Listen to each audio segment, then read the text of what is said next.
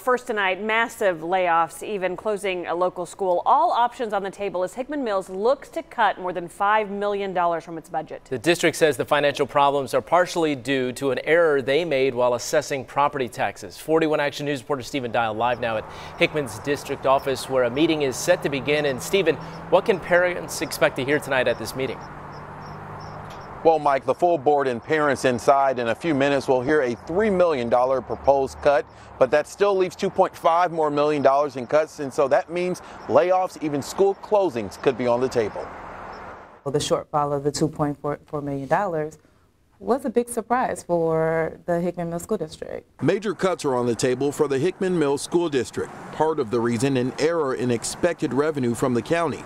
Dr. Yolanda Cargile is the superintendent. Well, we use the assessed valuation information to set our levy each year, so it's very important. And so if there's an error in that, then there's an area error with finances and how we budget. Cargile says aside from the assessment error, declining enrollment has played a factor.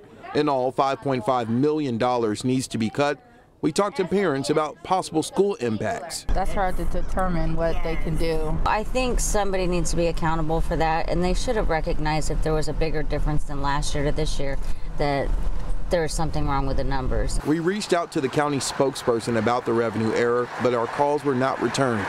Nothing is off the table, including teacher layoffs and consolidating schools. We're exploring moving the freshmen to Ruskin, so it'll be, again, a traditional high school uh, framework, 9 through 12.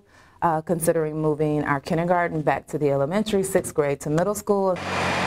Changes no parent wants to hear. Now at tonight's meeting, there will be no official decision. That will happen at the meeting, hopefully on January 30th, according to the superintendent. Parents, staff, if you're watching this, they are updating their website. Go to our website, 41actionnews.com, to look for that link so that you can know the latest in every step of this proposal. Reporting live, Steven Dial, 41 Action News.